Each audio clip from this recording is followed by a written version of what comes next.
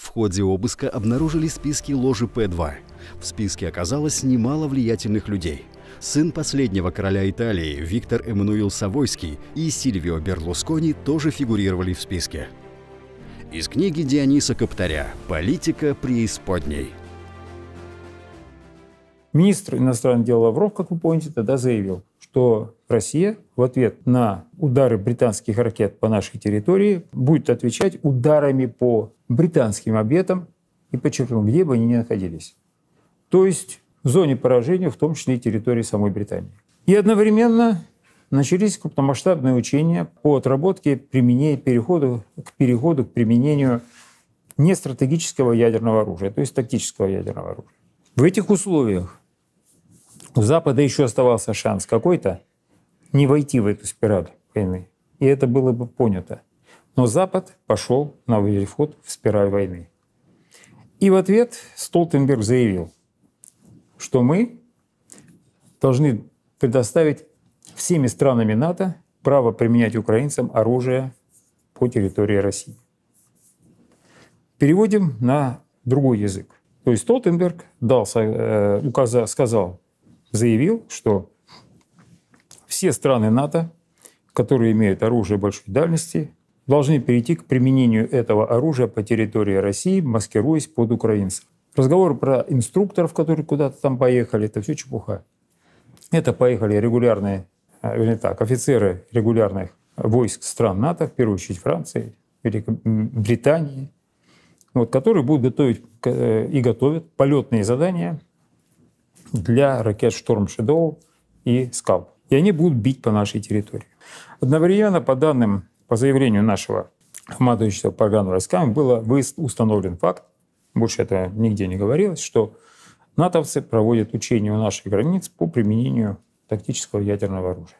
То есть они пошли по пути эскалации. Одновременно был нанесен удар беспилотником, произведенным в полной мере полностью в Британии и э, Португалии, британско-португальского производства, по радиационной станции «Майраж», вернее, «Воронеж-М» из состава системы противоракетного наблюдения, СПРН. Причем станция была на определенное время выведена из строя. Это, конечно, была проба пера.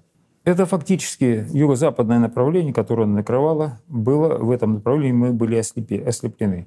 Если бы в это время с этого направления пошел бы ядерный удар, мы бы не смогли его обнаружить. А значит, нанести встречный ответный удар.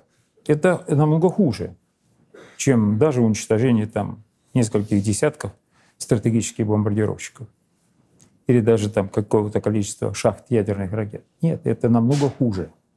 Вот уничтожение этой станции.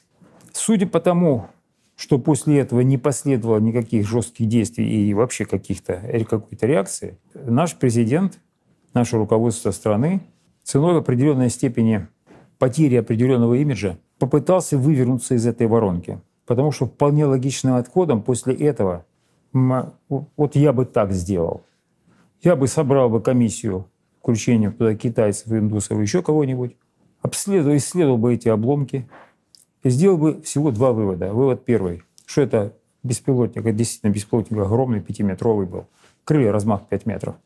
Что этот беспилотник выполнен, сделан был в Великобритании и Португалии. И второй вывод, что полетное задание для этого беспилотника могли сделать только офицеры британской армии. Более того, я бы еще зафиксировал простую вещь, что дальность полета этого беспилотника такова, что мы не можем знать, откуда он запущен. И он вполне мог бы быть запущен с территории Британии или какой-либо страны НАТО. Отсюда я сделал бы вывод на этом основании, что на основе всех этих слов, что фактически Британия осуществила акт военной агрессии против России. Второе, что я сделал бы, этот акт военной агрессии против России был осуществлен в отношении объекта стратегических сил сдерживания, который в соответствии опубликованный международно знакомый, всем на международном уровне знакомый, документ «Основы государственной политики в сфере ядерного сдерживания», параграф 3, статья 18, гласит, что при нанесении ударов по таким объектам Россия оставляет за собой право прийти к применению ядерного оружия. И дальше я сделал бы соответствующее вот такое заявление в ООН. В ООН я бы заявил, что Россия ответит и потом я бы ответил. Ракетой Х-101 ну, штук 8-2 самолета, по одному из объектов системы управления ядерными силами Британии. У них есть там узлы связи. Своей системы СПРН у Британии нету. Систем ПРО у них нету, способных противостоять. Поэтому по системе управления я бы врезал. Но президент Путин пошел по пути попытаться выйти из этой воронки, воронки эскалации. Потому что то, что я говорю, это, конечно, еще усугубление этой воронки эскалации.